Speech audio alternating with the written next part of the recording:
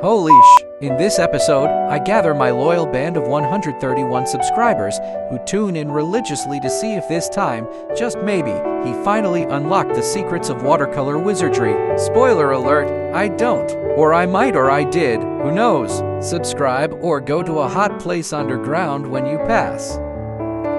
Bye.